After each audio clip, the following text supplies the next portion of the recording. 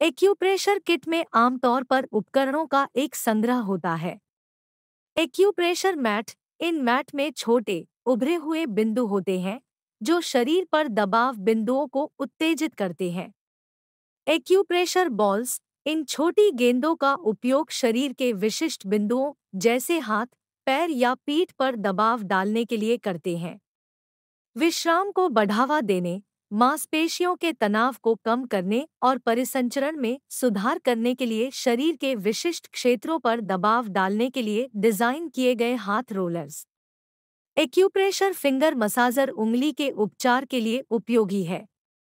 संपूर्ण स्वास्थ्य के लिए रोज़ाना पाँच मिनट के लिए पावर बॉल को हाथ में रोल किया जाना चाहिए। पावर थम आपके अंगूठे पर पहना जाने वाला एक उपयोगी उपकरण है।